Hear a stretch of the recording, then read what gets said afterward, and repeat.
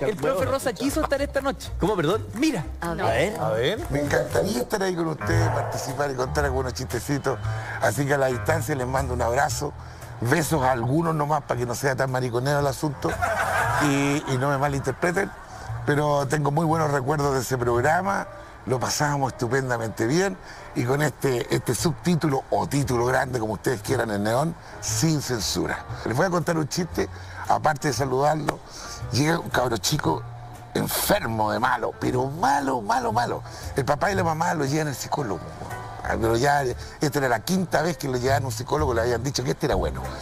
Y no podían cómo llevarlo, lo llevan amarrado, compadre, en un carro de estos donde transportan el cilindro de gas, con Witcher aquí.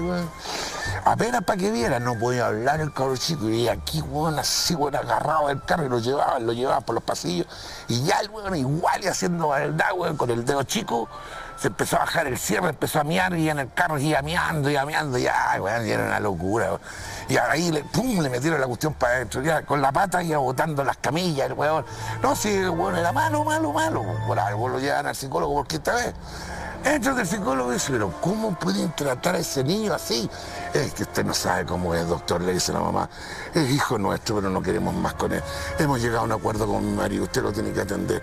Hazle un tratamiento, métele 500 pastillas, haga lo que usted quiera, opere lo entero si quiere. Pero cambien el carácter de este cabro de mierda, nos tiene la casa hecha tira. Los sillones ya no existen, las ventanas todo quebrado, no tenemos cocina, tenemos que salir a comer afuera, tenemos dos personas para cuidarlo y cinco perros, ya no sabemos qué hacer, es malo. No sean así. A ver, salgan, salgan, salgan ustedes y déjenme con el niño. A ver, páseme el carrito para acá, ¿cómo está mi regalón? El cajo, no quería ni una weá. Decía, cálmese, cálmese, yo no voy a hacer nada. Ya, por favor, salgan. Se va el papá y la mamá y dice, Dios quiera, ojalá que él dé una solución.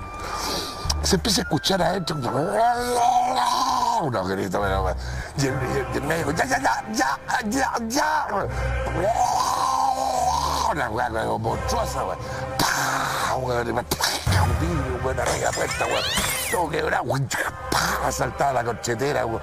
Las cuestiones de la oficina, el médico, weón, el estetoscopio, weón. Todo para afuera, weón. Quedó la cagada, weón. Y el médico, weón, a los 10 minutos, abre la puerta. Mamá, papá, ¿dónde están? ¿Dónde están? Pase, pase, no, no se. La corbata aquí, todas esas cosas rajulladas, weón, una oreja cortada, weón. Weón, y dos dientes menos aquí, weón. Por cuadra así, no, ya. Voy a hacer nada más que una pregunta. Miran al lado así. Y el carro chico estaba amarrado, en el carro igual parado así como momia. Lo dejó peor que como lo traía, weón. Como no, igual se fui a de hablar. Dice, ya cálmese, cálmese, dice el médico. Le va a hacer una pregunta al padre y a la madre. Tomen asiento como pueda. No, no hay silla, perdón. El niño le hizo tiro. Pero, ah, detalles. Así paradito nomás. les. Ustedes le dice, ¿viven en casa o departamento? ¿Y qué tiene que ver? Dice el papá que vivamos en casa de Tiene que ver, señor. Conteste usted que es más amable. La señora le dice, vivimos en casa. Ya. Entonces cámbiense, le dice, a departamento. Váyanse de ahí nomás. Eso es todo.